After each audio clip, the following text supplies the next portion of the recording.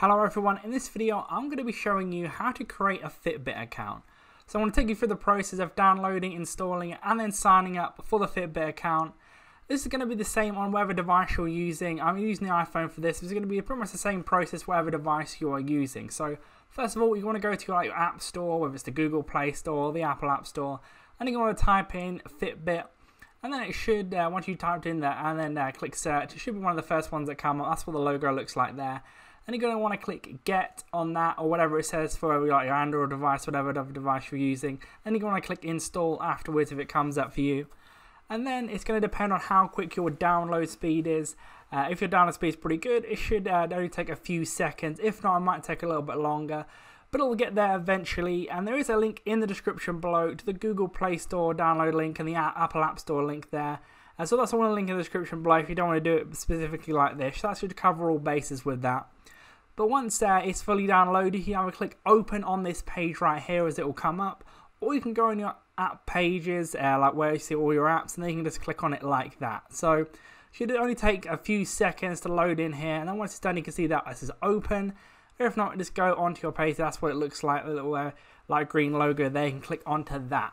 So it'll say, will you like to use Bluetooth? Uh, you will need to use Bluetooth for this because of how it like connects and how you're going to use the device. So you want to click OK for that and then uh, you'll say uh, join Fitbit or log in. If you already have an account for whatever reason, click log in. But if not, join. And then it will say uh, whichever Fitbit you have there, you can click on that. Or if you don't have one or you can click no Fitbit yet. So that's going to depend on you. Click on whichever one fits your uh, situation. And I say Fitbit access, access your uh, thing there. You have to say OK for that part, otherwise I won't let you through. Then I'll say your phone, and then you're going to want to click set up for that uh, to go through to the next step. And it'll say enter your account details. So you're going to want to go through there, put your first name, last name, email, and password. I'm going to, um, uh, for some of this part, I won't be covering up my information because obviously I don't want everyone seeing my information for my account. Uh, but you want to type in there, first name, last name. Make sure your email is correct and make sure you have uh, access to the email because you will be asked to verify it later. So make sure you have access to that straight away, otherwise you won't be able to get into your account.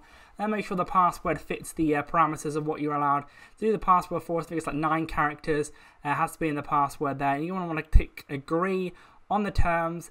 Uh, then uh, basically you want to click agree and then go next. With that, to make sure you do have the correct password with the nine characters. Otherwise, if you don't do that, I won't let you get in.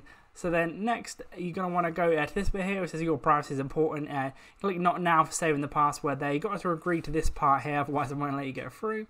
I'm going to say, yeah, to get an accurate picture of activity, it's going to ask you all these questions. So, for instance, you want to have your birthday, etc. You can go through and put that there, uh, your day, month, and year. And then you're going to want to click next. And then you're to, it's going to ask you for how tall you are. It's going to be in centimeters there. So, you want to look that up if you don't know your centimeters. And then next, uh, for that, it's going to ask you what your sex is. And then you're going to want to click that and then next. And then it will say what is your weight? And then you're going to want to put that in there. It's using stone for pounds. For me it might be a bit different for you because uh, it's going to be on the UK app store so it might come up different for you. And you're going to want to accept the terms or policies otherwise again you won't be allowed to go through like that. It's just one of those things.